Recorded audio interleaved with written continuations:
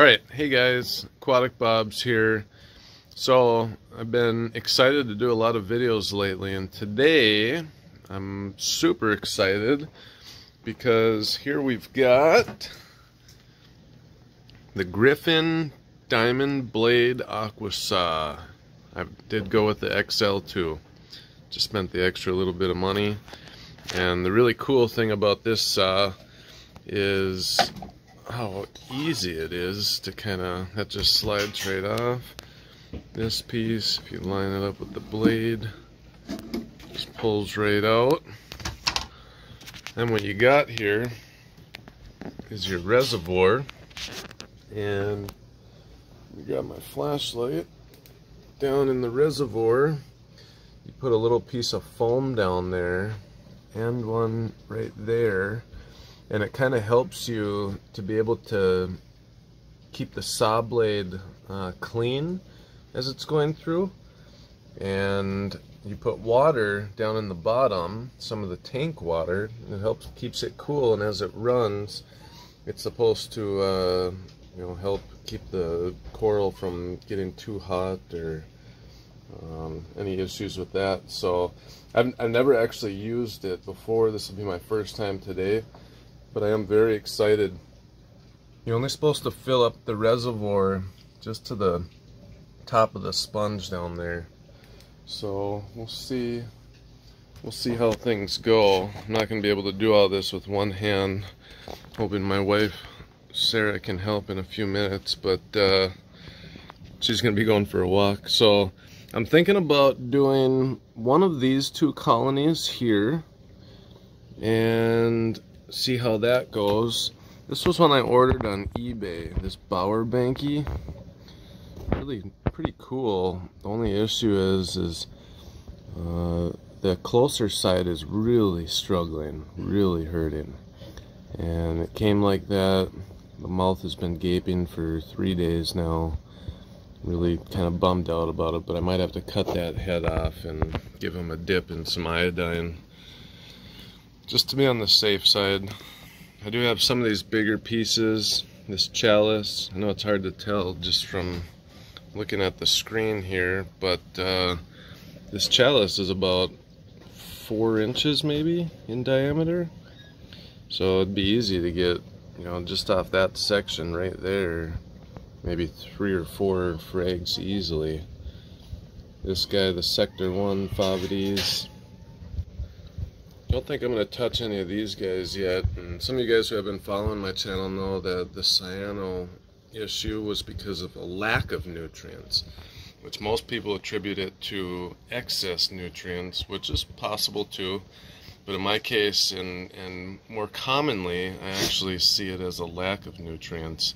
And the bacteria, the beneficial bacteria, can't outcompete it because the bacteria has been starved from no nutrients. So, but this is a, I'm, I'm noticing every day it's going away. You can even see it thinning out there. So, yeah, the acan is really nice. Gonna be cutting these guys. The only problem is where am I gonna put them, right? If you guys have any ideas of what I can do, I'm all open. I do have another frag rack, a stackable frag rack. I think if I clear out this whole area down here, I can kind of smash some of these similar species together. I know uh, Acans, and Blastos, that's pretty much this section down here, and a couple chalice.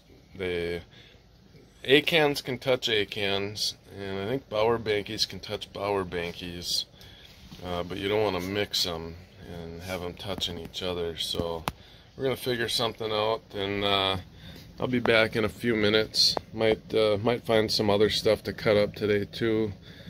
Um, I really just want to get a feel for the saw, so don't want to go too crazy, but we're going to see how things go, and I'll be back in just a second here, and uh, we'll get to it. Alright guys, we're back here. So I've gotten a lot more set up. I got my first chunk of coral. It's a little acan colony. The next thing I'm doing here is reef dip. Not everyone does this. You don't have to do it. I would recommend doing it though because it's it's like a coral disinfectant. So it's just like when we have a cut or something, something happens to us, we want to try to disinfect it. Well, we're going to be cutting through coral tissue, so I like to think that it's just healthier for the coral, better for the coral to disinfect it. So I'm even going to dump a little bit into the reservoir down here and mix that around. So as it's cutting the coral we're running some disinfectant on that too. I've already put some in here with the coral and I put some in the bucket here for the finishing product after I cut the coral. Once I have finished cutting the coral and it's all in there I'll put our frag plugs up here put some glue on and then glue them and then they'll sit back in the bucket for a few more minutes while the glue hardens. So let's uh, let's see how this goes. We're just going to throw this back on real quick. Very excited about this. I'm excited I got my wife to help out too. And I'll be right back. I forgot my glasses. Alright, hey guys, here we are. Back, ready, suited up. So, taking a look at the coral, just to show you guys, maybe go through one cut here, and then we'll uh, speed it up and, and play it in fast motion. But looking at what would be a good idea for some frags, and I'm thinking, you know, there's a straight cut right along there. Would be a good deal, a good idea. Um, it's hard to find a nice one right through the center, so we might have to kind of just chisel away a little at a time. But yeah, so let's start with that one and just see where it goes from there.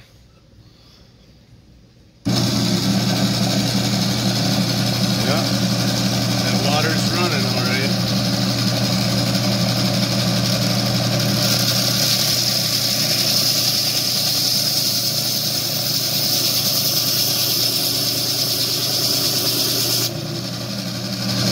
That was way easier than I thought.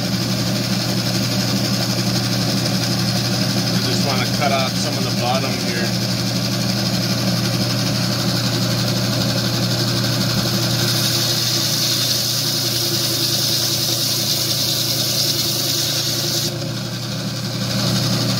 There we go. Nice frag. Nice flat bottom. We'll go ahead and actually we'll put it in this one. And now we'll just uh, keep going.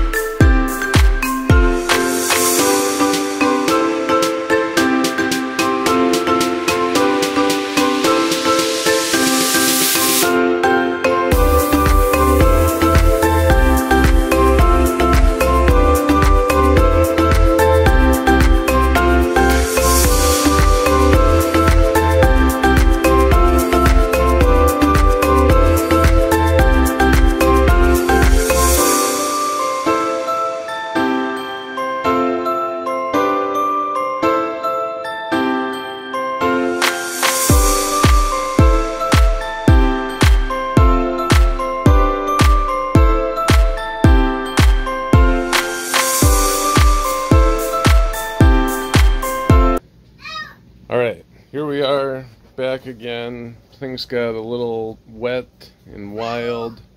Plus, it's raining outside. My wife left for a walk. So, we finished fragging some pieces. And I already know some of you guys just are not going to be happy. You're not happy no matter what.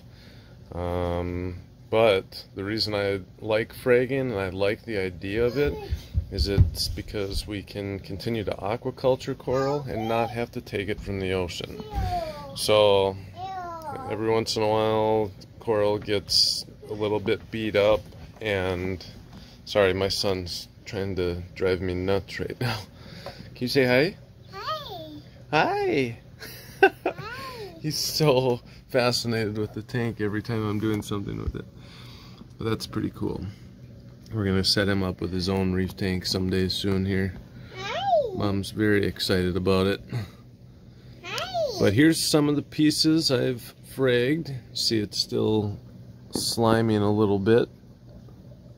And I also did a couple of the OG mummy eye chalices and this other chalice that has like a bunch of colors on it. Not really sure what it is, but it's super cool. It's got purple, red, orange, green. Really nice chalice. You can't even see really where I cut it back there. But uh, yeah, so I did did those pieces. I'll show you the rock. Took the whole rock out of the tank. And that was a pain. So you can see a few spots where I made some cuts and hoping it'll heal and grow back over quick. It's really not too much of an eyesore, especially when you consider I there's no way to really scrape a chalice off a rock that's so indented and everything like that. All you'll do is just scrape the flesh off and so I had to try to cut a couple pieces off and get a few smaller colonies going, be able to sell a few pieces too. And so yeah, that was what I had to do. The blade actually fell off on me. I thought I snapped it and I was like, oh crap. But wound up just falling off because I was putting so much pressure on it. But that saw is amazing, you guys. Absolutely amazing. If any of you are interested in fragging your own coral to sell to keep the hobby going or if you just need to cut some coral in your own tank and want to regrow out several of the same colonies in your tank um, the Gryphon Aqua Saw check it out I would recommend getting the XL too. If I wouldn't have got the XL I never would have been able to cut that rock. And again I know some of you are like well that's good. You never should have done that. But I'm like well I wanted to and I kind of needed to. And I want to be able to grow out some pieces for you guys as well when I open up my business. And working working my way toward it. Primarily just going to be online, um, but we're going to be setting up up at my dad's house, and he's got a nice heated garage. We're to set up some big tanks, some frag tanks, um, plumb it all together. Hopefully within the next I don't I don't know. I'm hoping it'll be sooner versus later because I really am running out of space here. But uh, yeah, I appreciate you guys. The tank does look a little bit different because I have that back light bar towards the back. Otherwise, we'd be seeing a little more coral here. Hold on one second. Okay. Yeah, I was going to say, otherwise we'd be able to see the color a little bit better. Not even sure how much of a difference it really made, but uh, yeah, so anyways, that's how we frag some acans, some chalice, some other chalice, and I was also able to get, you can see that hole right to the right here. There's a rock flower anemone stuck in that hole. He's now down in my sump. And I really needed to get him out of there because everything was closing in on him. And I know their sting really isn't that bad, but just to be on the safe side, I wanted to clear that out. And here's something that's cool too. You see this uh, sunburst bubble tip anemone just hanging out with the fascination favia. There's no fighting going on yet. Sorry, took the camera off. It's pretty cool. I'm sure that someday it's going to happen, but it'll be easy because I can just pull those two rocks out of there. They're actually not supports. Uh, this whole center island here is a tree kit. So I'll be able to pull those out and be able to move that guy and carry on. So yeah, thanks again guys. If you like the video, please subscribe. Even if you don't like the video, subscribe. How about that? give a thumbs up. If you don't like the video, you can give a thumbs down. But uh, yeah, I appreciate your comments and your thoughts for some future videos. And I look forward to seeing you guys in the next one. See you later. Okay.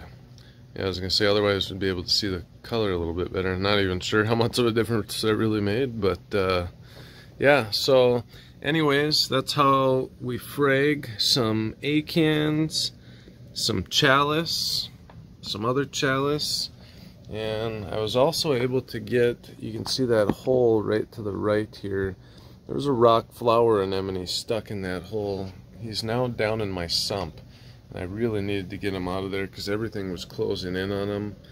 And I know their sting really isn't that bad, but just to be on the safe side, I wanted to clear that out. And here's something that's cool too. You see this uh, sunburst bubble tip anemone just hanging out with the fascination favia. There's no fighting going on yet. Sorry, took the camera off. It's pretty cool. I'm sure that someday it's going to happen, but it'll be easy because I can just pull those two rocks out of there. They're actually not supports. Uh, this whole center island here is a tree kit. So I'll be able to pull those out and be able to move that guy and carry on. So yeah, thanks again guys. If you like the video, please subscribe. Even if you don't like the video, subscribe. How about that? give a thumbs up. If you don't like the video, you can give a thumbs down. But uh, yeah, I appreciate your comments and your thoughts for some future videos. And I look forward to seeing you guys in the next one. See you later.